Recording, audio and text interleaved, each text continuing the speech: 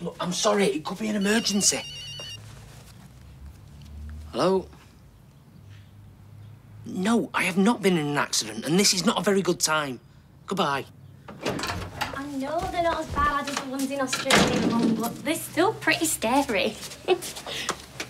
oh, wait a second.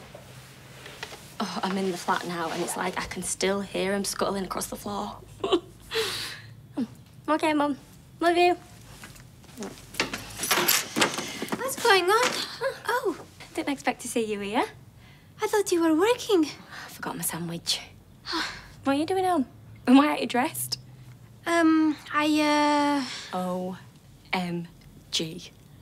Have you been for lunch with Lucas already? Well, I, um... And let me guess, now you're having dessert in your room? Something like that. Oh, well, you move quick, I'll give you that. Hey, I'm just glad you're getting over Tyrone. Yeah, I suppose I am. Right, well, well, I'll get out of your hair. Good luck. Lucas! It's a long story. Oh, I'm sorry. I forgot my sandwich again.